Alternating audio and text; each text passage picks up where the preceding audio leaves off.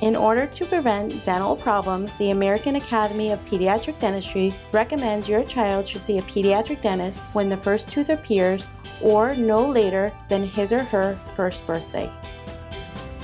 Here at Southwoods Pediatric Dentistry, we look forward to meeting your baby by his or her first birthday.